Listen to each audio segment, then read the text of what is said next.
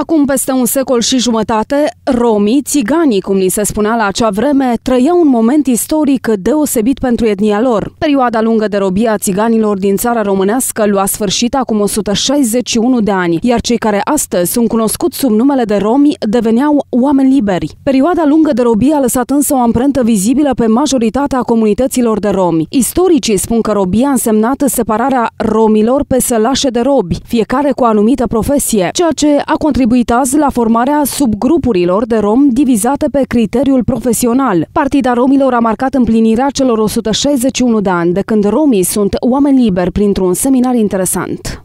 Să împlinesc 161 de ani și de la, de la dezrobirea romilor și vreau să vă spun că după calendarul vechi al, al lui Iulian era programată pe 8 februarie. Astăzi am întâlnit aici împreună cu profesorii de limba românie, mediatorii școlari, uh, mediatorii sanatori, lideri de comunitate pentru a dezbate acea, această, uh, această temă cu dezrobirea romilor din România.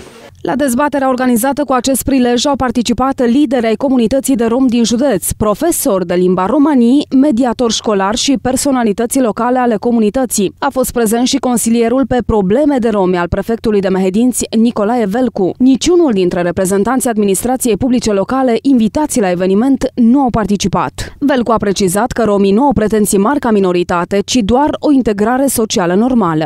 Având în vedere că printre noi se află profesori ai noștri de limba romanii, mediatori școlari, mediatori sanitari, lideri ai comunităților și uh, este un, un eveniment important în viața noastră. Noi, etnia romă, am fost o etnie care de-a lungul istoriei am fost foarte, a fost foarte persecutată.